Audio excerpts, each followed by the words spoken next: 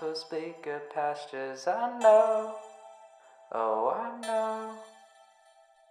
But if we're falling upward towards the skyward empty, how far would you go?